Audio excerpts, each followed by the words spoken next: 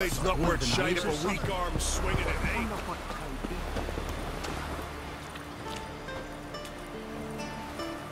You're a witcher.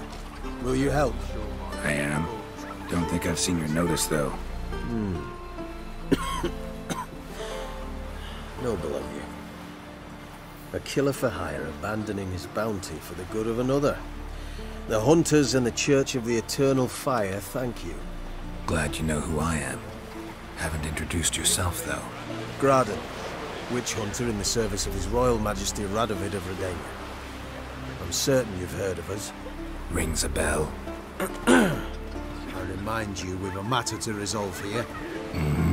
What's the surprise? Some new monster I need to kill?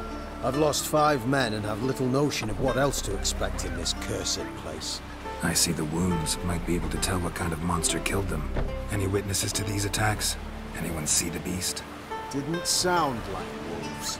Mhm. Fine. I'll see what I can do. May the Eternal Fire guide and protect you. Farewell.